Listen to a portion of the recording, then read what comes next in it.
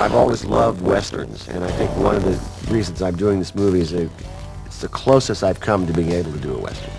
It's about vampires, but it owes more to, you know, Rio Bravo, The Searchers, uh, Peckinpah's The Wild Bunch, than it does to horror movies.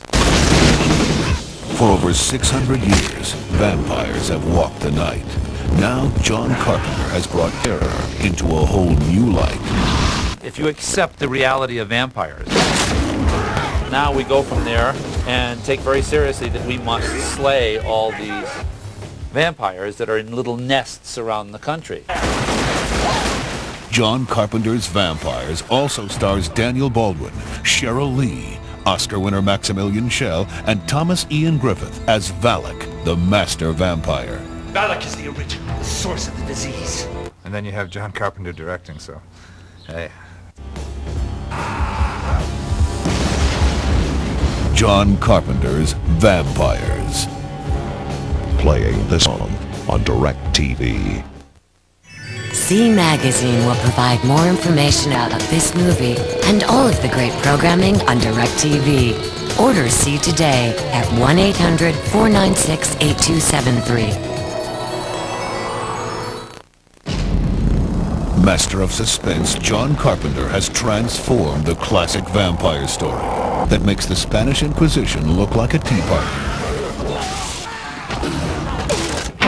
Have you ever seen a vampire? No. Well, first of all, they're not romantic. Seducing everybody in sight with cheesy Eurotrash accents, all right? Forget whatever you've seen in the movies. Open wide, baby. No master was ever like this. Superhuman strength, unkillable, like a machine. A master vampire, able to walk in the sun, unstoppable.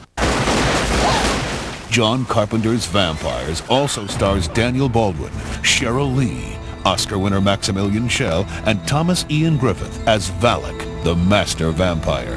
Valek is the original, the source of the disease. A master vampire has a telepathic link with his victims. You're gonna help us find them. Ah!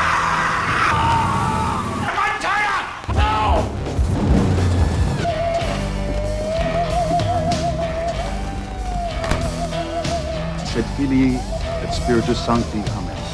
All right, we think we got a nest inside this place. Let's get to work. For over 600 years, vampires have walked the night. Now John Carpenter has brought terror into a whole new light.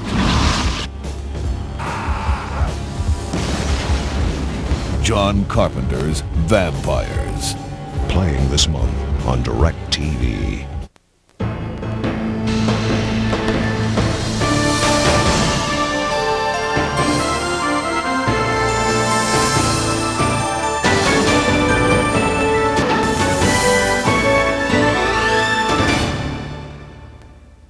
This program is being presented as an all-day ticket. With your all-day ticket purchase, you can watch this program until 6 a.m. Eastern Time on any channel where it is showing.